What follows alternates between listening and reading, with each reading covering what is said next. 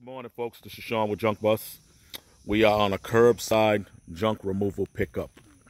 Folks, not only do we rent dumpsters, but if you call us, if you don't have a dumpster load or whatever, or you want us to do the work, um, the cheapest option is put it to the curb.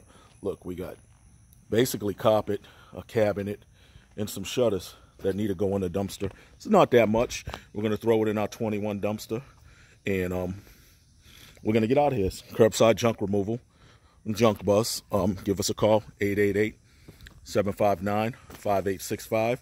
Or you can reach us online at rentajunkbus.com.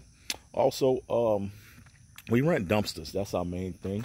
And our dumpsters are driveway safe, rubber tires. You don't have to worry about them cracking the driveway. And um, they paint it like a bus. That's why we call junk bus.